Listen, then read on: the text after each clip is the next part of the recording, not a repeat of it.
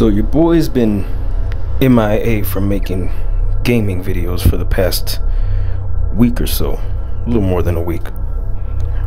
But it's actually not the first time I've done that. But this time, but this time is different for a different reason. So anyway, my focus right now, before I get back to gaming videos, which I'm going to do, uh, either if not this week, this coming week.